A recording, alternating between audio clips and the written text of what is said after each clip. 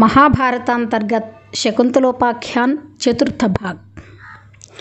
राजा के पास पहुंचकर शकुंतला ने कहा, राजन, यह आपका पुत्र है।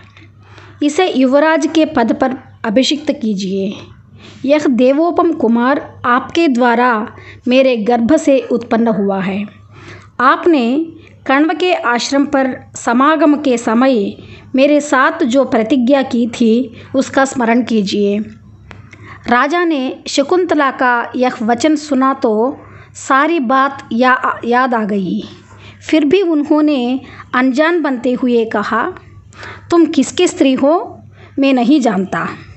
मुझे लेश मात्र याद नहीं कि तुम्हारे साथ धर्म, काम तथा अर्थ को लेकर कभी वैवाहिक संबंध हुआ है?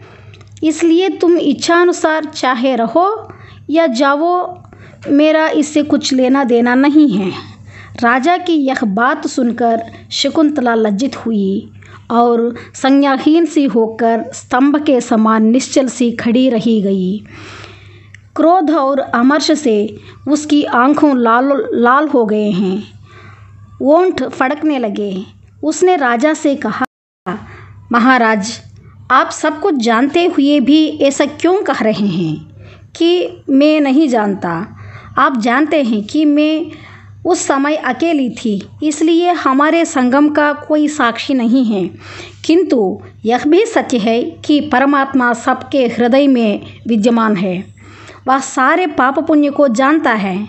न जाने मैंने पूर्व जन्म में कौन सा पाप किया था। जो बाल्यावस्था में मेरी माता मेनका मुझे वन में अकेला छोड़कर चली गई। और अब आप मेरा परित्याग कर रहे हैं। आप नहीं स्वीकार करेंगे तो मैं अपने आश्रम को लौट जाऊँगी। किंतु आपने इस कुमार का परित्याग तो नहीं कीजिए। दुष्यंत ने उत्तर दिया, अप्सराओं में मेनका श्रेष्ठ है और ऋषियों में विश्वामित्र। तुम उनकी संतान होकर झूठी बातें क्यों कर रही हो? तुम्हें ऐसी अश्रद्धेय बात करने में लज्जा नहीं आती? तुम यहाँ से चली जाओ। यह सुनकर शकुंतला अत्यंत पीड़ित हुई। उसने कहा, आपकी आसक्ति झूठ में है, इसलिए आप मेरी बात में विश्वास नहीं करते। तो मैं स्वयं ही चली जाती हूँ। आप जैसे व्यक्ति के साथ रहना उचित नहीं है। किंतु यह याद रखिए कि आपके बिना ही मेरा यह पुत्र शैलराज के मुकुट से शोभित और चारों समुद्रों से घिरी हुई समूची पृथ्वी का पालक बनेगा।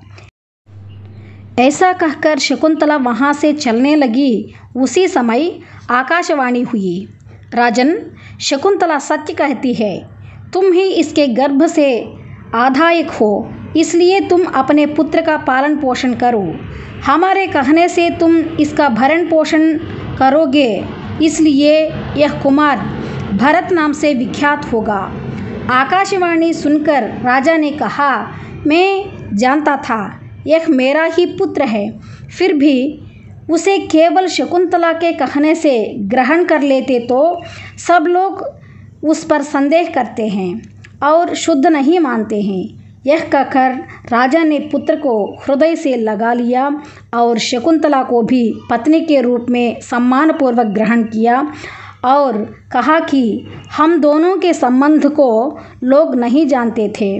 इसलिए तुम्हारी लोक स्वीकृति के लिए ही मैंने यह सब की, सब कुछ किया है। तत्पश्चात दुष्यंत ने कुमार का नाम भरत रखकर उसे युवराज के पद पर अभिषिक्त कर दिया।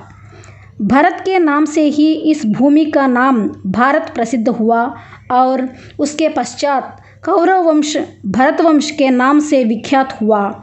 भरत के पश्चात इस कुल में उत्पन्न होने वाले समस्त राजा भारत अर्थात भरतवंशी कहलाए। महाभारतांतर्गत शकुंतलोपाख्यान समाप्त।